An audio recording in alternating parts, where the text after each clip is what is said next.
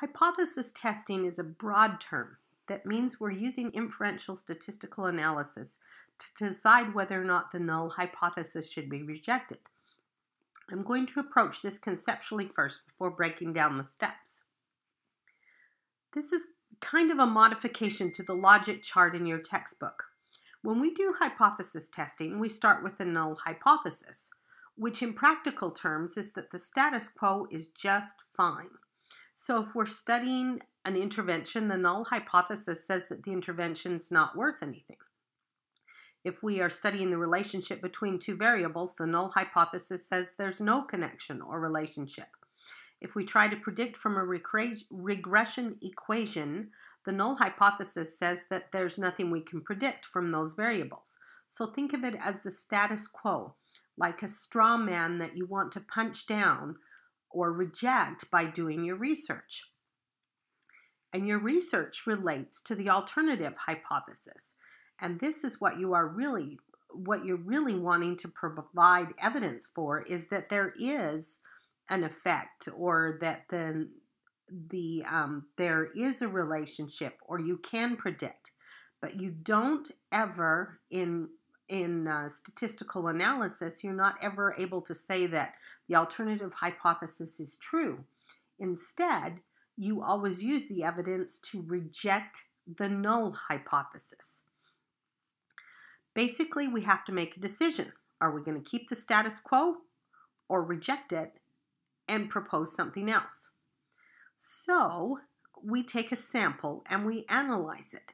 If the sample analysis shows that the intervention, effect, relationship, or prediction is statistically significant, we reject that null hypothesis. If the sample shows, however, that the effect or the relationship, the prediction, or whatever is not statistically significant, significant, we keep the null hypothesis. There are a lot of different research questions we can approach this way. We may want to see if a new drug for hyperactivity is better than the old one, or we may want to see if a socialization intervention helps aggressive students, or we want to may want to see if one group of students have better scores than another statistically. All of these can be addressed by term, determining whether or not the information from the sample is can statistically let us reject the null hypothesis or not. Let me tell you a make believe story. A state provides funding for scholarships to a state university, college, or other post secondary training for all high school graduates with a 3.25 GPA. So there's a certain number of these graduating seniors who are going to get this um, scholarship provided by the state. Each year, the governor has to come up with the funding to pay for these scholarships. When the program started, the average GPA for a graduating senior was 2.75, and they could project what they needed in scholarship funding. Lately, though, some in the state have started to wonder if GPAs are rising. Perhaps there is grade inflation with the pressure to help students. Perhaps students are actually working harder because of the scholarship incentive. So the governor needs to see if the current GPA is indeed higher than the 2.75 they've been using for projections. So a sample of 400 students is pulled from across the state, and their GPAs are averaged. Lo and behold, the average GPA for the sample is 2.85 with a standard deviation of 0.65. Should the governor be getting worried? Well, we don't know for sure yet. That sample of 400 students was one of an infinite number of samples that could have been drawn from all of the state students.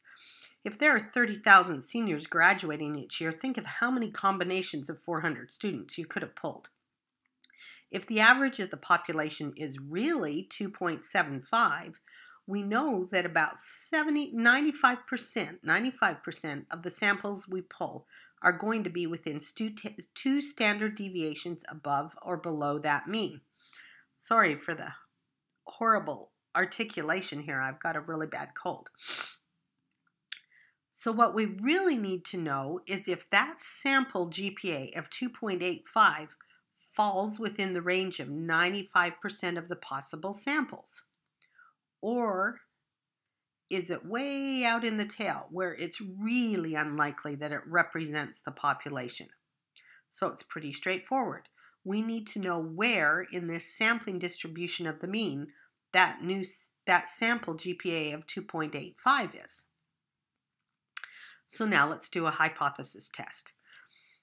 Our null hypothesis, or the status quo, is that the average GPA for graduating seniors in the state is 2.75.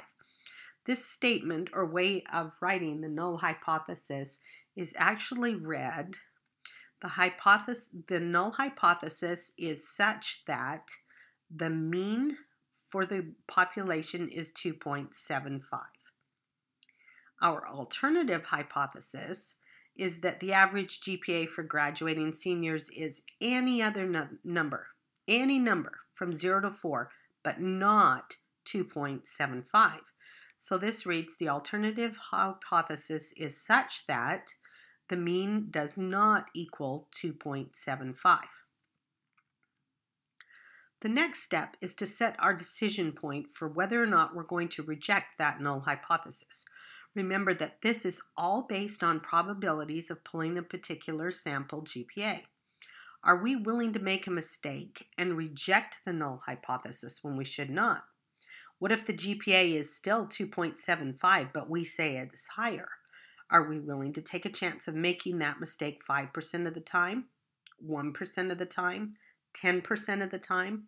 In my make believe story, I'm going to say that the governor is willing to live with a chance of making that mistake 5% of the time. So my alpha is 0.05 or 5%. This is called the level of significance. Basically, I'm setting a cutoff line, a line in the sand. I'm saying that if the sample mean is above or below the rejection point, I'm going to reject the null hypothesis because the the chance of pulling the probability of pulling that sample it from this sampling distribution is so rare that I can reject the null hypothesis. Notice how changing the significance level changes the percent of samples that are acceptable in my sampling distribution of the mean. If I set a significance level of 5%, these regions of the distribution will lead to rejecting the null hypothesis. So if my sample is out in either of those tails, I'm going to reject that null hypothesis of 2.75. It would tell us that the sample mean we pulled is very unlikely if that, that null hypothesis is correct. But what if I change the significance level to 1%? There's a much, much smaller probability that my 2.85 sample GPA is way out in that rejection area, and it becomes much more difficult to reject the null hypothesis. On the other end, perhaps I go the other way and set my significance level at 10%, you can see that my sample GPA now has a much larger chance of being in the areas of the distribution that suggest I reject the null hypothesis. So I will stay with 5%, pretty typical for this kind of analysis. For step three, I need a number. In other words, I need to know how many standard deviations from the population mean my sample's mean is so that I know where I can place it along that sampling distribution. A z-score gives me the number of standard deviations. So I compute the z-score for my sample mean of 2.75. And when I do that, I end up with a z-score of 3.08.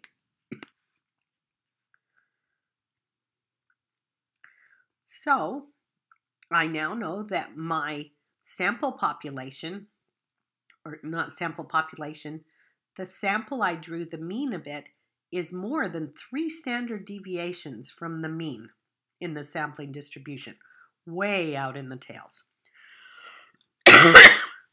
so, last of all, I need to make a decision about that null hypothesis. If my sample mean of 2.85 is more than 3.08 standard deviations above the mean, it is way out in the tails of my sampling distribution for the mean. There's actually a shortcut to looking at the cutoff point.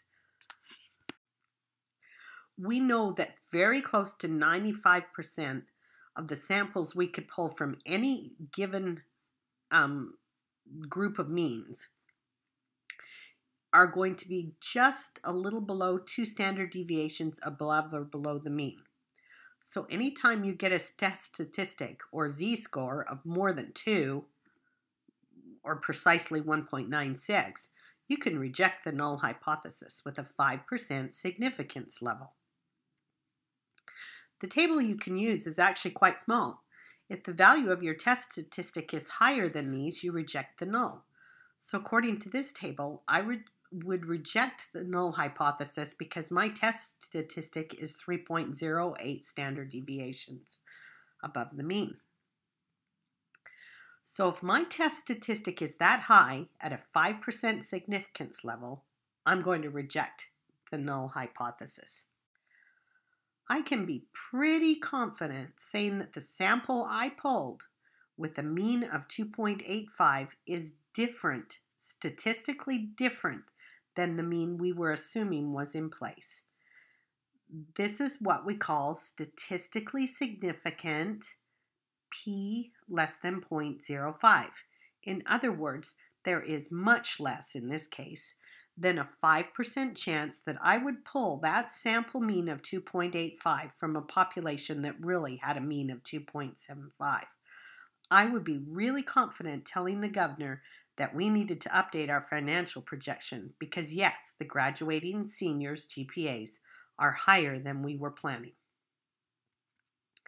Going back to my original make believe story, what if I changed my alternative hypothesis slightly and said that in my alternative, my alternative is such that the population that the mean is greater than 2.75. This sets up a directional hypothesis. When we set an alpha of 5%, our, our um, level of significance, we actually split the 5% into the two tails of the sampling distribution of the mean with 2.5% being the area of rejection in either tail, adding up to 5%. But if I have a directional hypothesis, I'm saying that I can disregard half of the sampling distribution. I'm only interested in whether I can reject the null with a mean that is greater than the null's mean. Now all of my 5% significance level is in one tail, not two. Nothing changes in what I do, but the area of my sampling distribution that is for the rejection is much larger. A hypothesis that is two-tailed is non-directional. We're splitting that significance level between the two tails. You use this column. If you're testing with um, that the mean equals a hypothesis that is one-tailed means that you're using this column because you're using a greater than or less than sign. And that's really all there is to it. We make a null hypothesis, which is the status quo. There's no effect, there's no difference, it's a straw man that we're actually researching to try and reject. Then we develop an alternative hypothesis, which is really what we think is happening, but we're never going to prove that. All we're going to do is reject a null hypothesis.